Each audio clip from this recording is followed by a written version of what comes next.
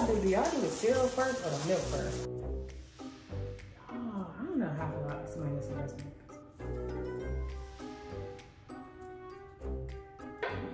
It's good. I mean, I really can, I really can just, you know, I feel strong You know. It's good. Mm -mm, I'm too full. No, please stop. No, no, wow. no. Cuz.